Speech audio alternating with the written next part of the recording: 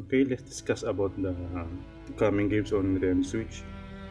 Ang unang-una natin discuss ay tungkol sa uh, Switch Witchers 3 Wild Hunt Complete Edition for Nintendo Switch na napala siya lumabas uh, sa October 15 na siya. Uh, yung first 2, di ko pa, uh, namin ko, di ko pa nanalaro pero sa so, naman sa review yung sa yung bangat nung installment ng Researchers. Pro Switch uh, maganda naman. Nagkaka-optimize ng CD project. Uh, mas da ito sa mga Switch owners dyan. Hindi pa talaga natatry malaro yung Switch sa uh, Switch sorry Wish Witchers 3 sa PS4 sa lumabas na tsaka sa PC kaya mas bay talaga ito sa atin mga Switch owners yun.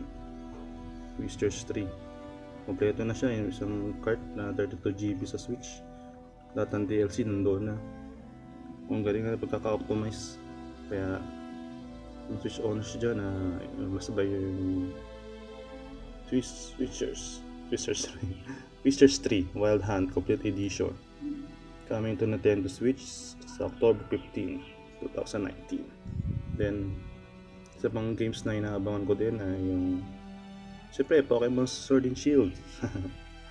Dahil competitive tayo sa Pokemon. Nagbibidyo tayo, mga 3 years na. Pinabangan natin yung mga bagong meta, mga Pokemon, mga mechanics.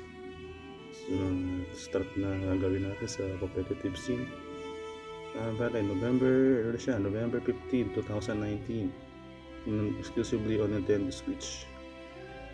Also, uh, meron kami, meron palang launch store niyan sa after the day of the release uh, sa November 16 uh, sa Playgrounds Happy Cafe sa Caloocan. See you there no kami let's battle Pokemon competitively. See you there sa lunch ng and Shield. Then okay